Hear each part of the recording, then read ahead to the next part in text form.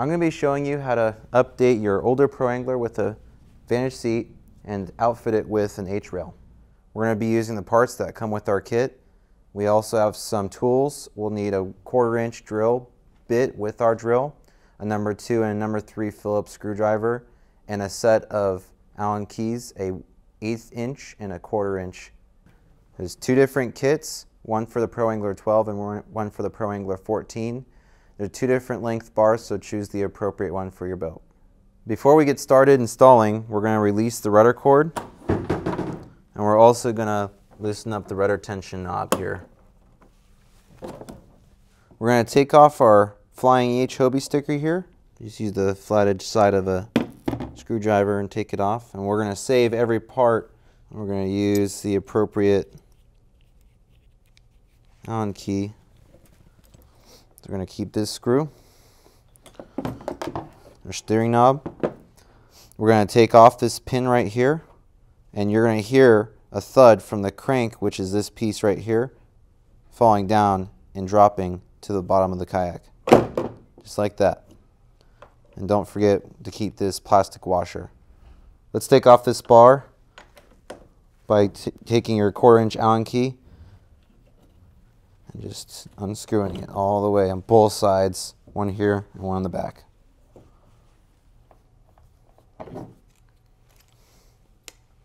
We're going to need to access the inside of the hull, but before I get started, I'm going to take my seat out just because it's going to get in the way, and then I'm going to pull out some foam from the inside of the kayak in order to get just inside of that crank.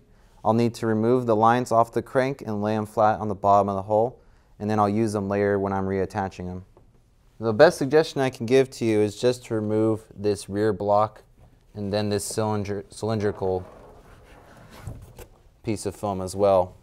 remember where they're going in because they're going to need to put them back in the same way. This is what the crank looks like when it drops down from the top. There's two lines that have these crimped loops at the end and the loops are wrapped around this rivet. In order to pull the crank from the looped ends, all you need to do is release the loops right off the rivet just like that. Here's the old crank. I'll need to keep the spring in the small washer here.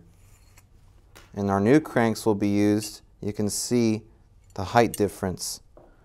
So we're going to take our crank, drop it in from the top, and this is going to help us align the base properly. And before we start drilling, we're going to take our drill and we're just going to push down firmly on an area that we've inserted the uh, crank on and we're just going to double check to make sure that it's aligned dead center.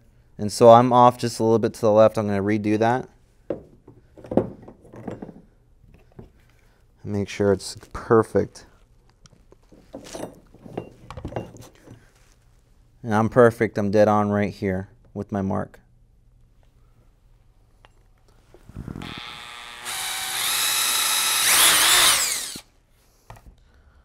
Taking our rope, our backing plate, and a quarter 20 screw, we're going to mount this base right onto the boat. So the first thing you'll need to do is you'll need to run this line, this rope, with the, where the crank hole was, down from the top into the boat. And then we're going to go in and grab the rope.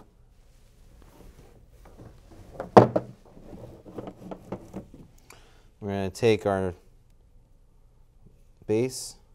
We're going to tie a little figure eight knot. You tie any knot really. Come back to here. So I'm going to pull my line up and I'll see that the threaded side of this mounting base is right underneath right underneath my uh, my, my the area I just put a hole in. So now I can put this quarter 20 in screw.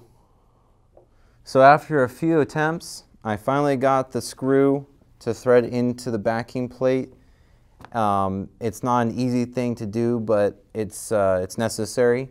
Um, after putting the backing, backing plate on and threading it in correctly, I'm going to keep it a little bit loose in order for me to line it up later with the crank and when I install the H-rail, which the crank is going to feed through. And once the mount is on there, the base is on there, just pull your rope off. We're going to take those older parts from the first crank, which is the plastic washer in our spring, slide them onto our new crank with the plastic washer going on first and the spring with the smaller side facing downwards going on next. We're going to then push the crank up through the mount base and then once we've pushed it all the way through we're going to slide this pin through those holes there just to hold it in place and then we're going to attach the uh, lines to that rivet that I showed you before.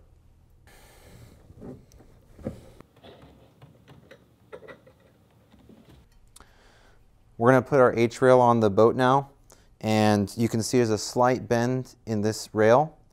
So you're going to want to follow the curvature of the boat on both sides whether it's left or right.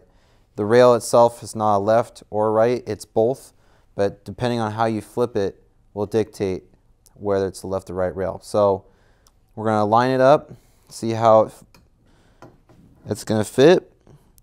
We're going to go back over. We're going to put some self-tapping screws in here so that the rail doesn't spin and uh, doesn't lose traction.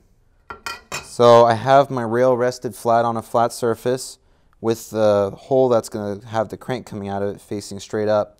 I'm going to put the end fittings perpendicular to that hole on both ends, making sure that it is the same on both sides. So before you install the, the H-rail, we're going to need to take out this bolt right here that's on your mounting board. take your Phillips head screwdriver and unthread it. We're going to take the front portion, which is the longer half between this, uh, where the crank opening is. We're going to slide our longer bolt that comes with our kit. And then we're going to slowly crank down on this. Now that the crank is through, we're going to tighten up where the bolt is going in, threading into the backing plate. We're going to take our steering mount and we're going to get it ready to slide over this H-rail and fit right over this H-rail base. Um, so what we're going to do is I'm going to get underneath here.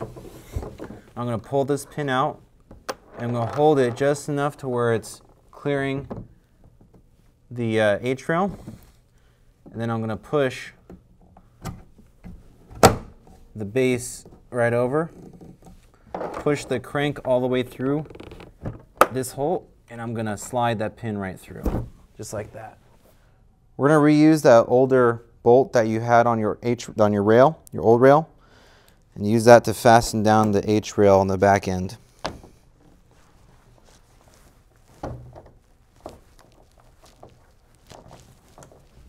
We're going to fasten our steering mount together by putting through this bolt and this nut on the other side. You can see that there's an impression here for the nut that will hold it in place while you push this bolt through. And then we'll hang, hand screw it in.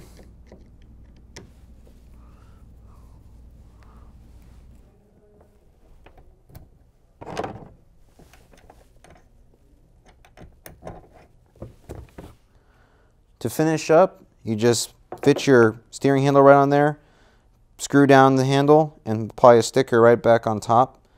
Or you can do what I like to do, which is put a steering riser onto your area where you would have your steering handle. Then put your steering handle on top, followed by your bolt, and now you have a nice tall steering handle. It makes it easier to turn left and right. It's time to put our foam back in, and then I'll finish up by doing up the other side and you'll see the complete boat. All right, our 2014 Pro Angler 14 is now upgraded to having H-rails. I've also given it some extra flair by putting some risers on and steering handles on both sides. And I did a little fine tuning at the end just to make sure the steering handles are nice and straight in line with the rudder. And we're looking good. Check out some more videos from Hobie Fishing.